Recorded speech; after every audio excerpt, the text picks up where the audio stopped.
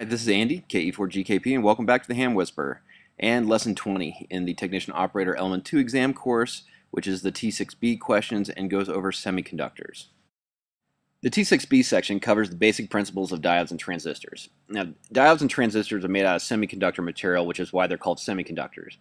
Now, just kind of give you a baseline of what you need to know for the exam, semiconductors and transistors and diodes, you can go pretty deep into them, and there's a lot of theory involved. But to note, what you need to know for the exam is that semiconductor material is essentially a material that is not a good conductor, nor is it a good insulator. And the most commonly used types of material in electronics are crystals of silicon or germanium. And what a manufacturer will do is they'll take these crystals and dope them with a chemical. And depending on what chemical they dope them with, it'll give them a positive bias, making them a p-type material, or a negative bias, making them an n-type material. Now, for a diode, a diode is a piece of N-type material put together with a piece of P-type material. And what diodes do is they block current flow in one direction and allow current flow in another direction. A transistor is three types of semiconductor material. And it's usually two types of one, excuse me, two layers of one type of material sandwiching a layer of a second type of material. So it'd be like two P-type layers sandwiching an N-type layer. Now the two types of transistors you need to know for the exam are a bipolar junction transistor and a FET transistor. Now one of the things common to all transistors is they have three leads and depending on what type of transistor you're talking about, the names of the leads change and you have to, um, we'll go over that in the, the questions. But a bipolar junction transistor, what it can do is it can amplify signals. And what a field effect transistor or FET can do is it can act as a switch or control current going through going through uh, circuit. So if you remember that, that should give you a good baseline for these questions. If you want more information, I'll, I'll recommend a book that's very good and gives a very good simple explanation of transistors. The stuff on the internet is a little bit complex. So with that said, let's get going with the questions. What class of electronic component is capable of using a voltage or current signal to control current flow? And the answer is transistors. Uh, transistors are probably one of the greatest discoveries of the 20th century. Everything you own that is an electronic device has transistors in it nowadays. Now, we talked a little bit about a bipolar junction transistor, and it's essentially three layers of semiconductor material.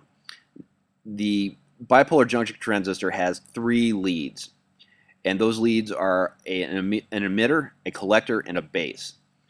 Now, the thing to remember with a bipolar junction transistor is that small changes of current in the base can result in big changes in current at the emitter connection, which often amplify these signals. So if you're looking for to control the current flow using voltage or current, remember transistors do that. What electronic component allows current to flow in only one direction? A diode only allows current to flow in one direction. And the diode came before the transistor. And diodes consist of two types of semiconductor material, a p side and an n side. And the combination of these two materials causes the flow of electrons to go in only one direction, like the valves in your heart only allow blood to flow in one direction. Right, when a DC current runs through a diode, everything is okay, assuming the diode is connected to the circuit correctly. When an AC current is applied, the diode will allow the current to flow in one direction, but stop it going the other direction. Just remember, diodes only allow current to flow in one direction. Which of these components can be used as an electronic switch or amplifier? Remember, switches and amplifiers uh, affect current flow. So a transistor can be used to, as an electronic switch or amplifier. And a, like I said, a bipolar junction transistor will affect, will, will be an amplifier. The FET will be the switch. Which of these components is made of three layers of semiconductor material? The answer is a transistor. So transistors are a type of semiconductor in that the material that they're made of is not exactly the best conductor in the world, but it's also not the worst conductor in the world. It's kind of in the middle, so it's a semiconductor. The other thing you need to know is you really need to memorize is that tr transistors have three layers of material. And the more familiar you get with transistors, the, the easier that is to remember. But transistors have three layers. They're a semiconductor because they're made of a semiconducting material.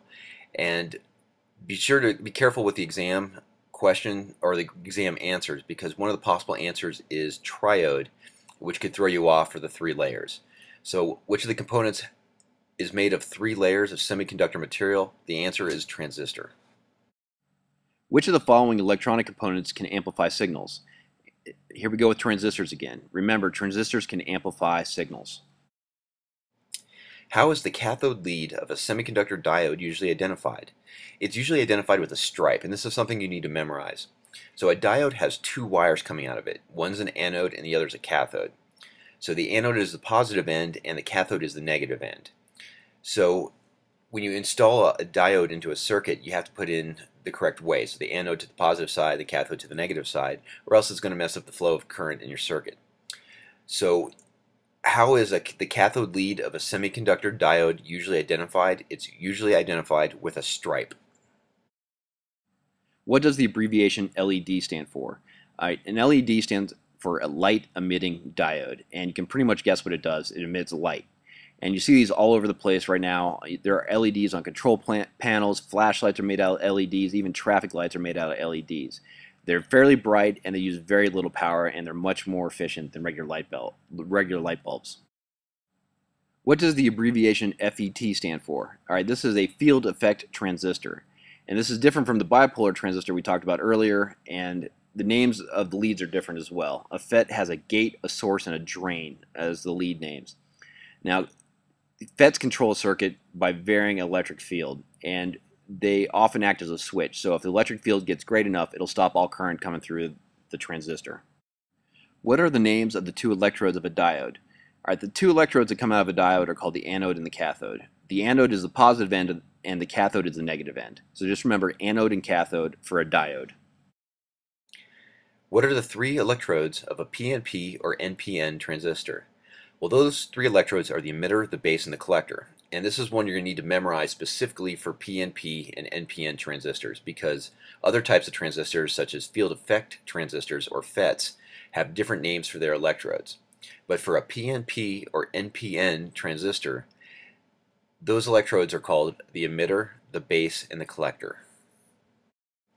What are the three electrodes of a field effect transistor? Those three electrodes are called the source, the gate, and the drain. And like the PNP and the NPN transistors, field effect transistors, or FETs, have three leads, but they have different names. And it's important not to get these confused with PNP and NPN transistors. The, for the FET, it's called they're called source, gain, and drain. And once you get information on transistors, these will start making more sense. But for the purposes of this exam, it's all you really need to do is memorize them.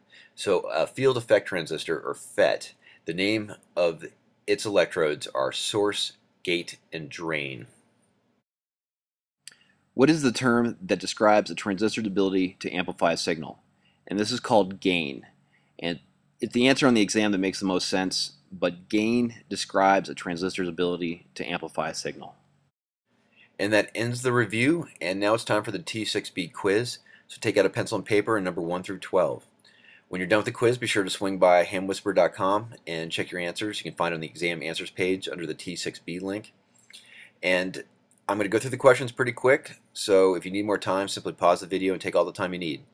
With that said, let's get started with the quiz.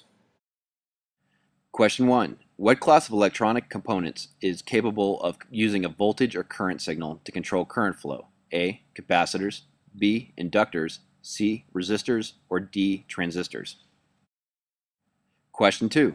What electronic component allows current to flow in only one direction? A. Resistor B. Fuse C. Diode or D. Driven element Question 3. Which of these components can be used as an electronic switch or amplifier?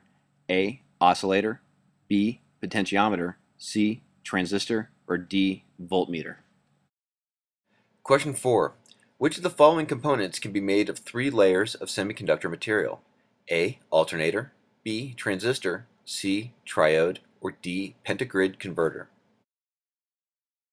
Question 5. Which of the following electronic components can amplify signals? A. Transistor B. Variable resistor C. Electrolytic capacitor or D. Multi-cell battery Question 6. How is the semiconductor diode's cathode lead usually identified? A with the word cathode, B with a stripe, C with the letter C, or D, all of these choices are correct. Question 7. What does the abbreviation LED stand for? A. Low emission diode, B. Light emitting diode, C. Liquid emission detector, or D. long echo delay. Question 8. What does the abbreviation FET or FET stand for? A. Field effect transistor. B. Fast electron transistor. C. Free electron transition. Or D. Field emission thickness. Question 9. What are the names of the two electrodes of a diode? A. Plus and minus. B. Source and drain. C. Anode and cathode. Or D. Gate and base. Question 10. What are the three electrodes of a PNP or NPN transistor? A. Emitter, base, and collector. B. Source, gate, and drain. C. Cathode, grid, and plate. Or D. Cathode, drift cavity, and collector. Question 11. What are the three electrodes of a field effect transistor? A. Emitter, base, and collector. B. Source, gate, and drain. C. Cathode, grid, and plate or D, cathode, gate, and anode? In question 12, what is the term that describes a transistor's ability to amplify a signal? A, gain, B, forward resistance, C, forward voltage drop, or D, on resistance. And that concludes the T6B lesson. And now that you know the quiz, be sure to swing by Ham Whisper and check your answers. And until next time in lesson 21, this is Andy, KE4GKP, saying 73, and I hope to hear you on the air soon.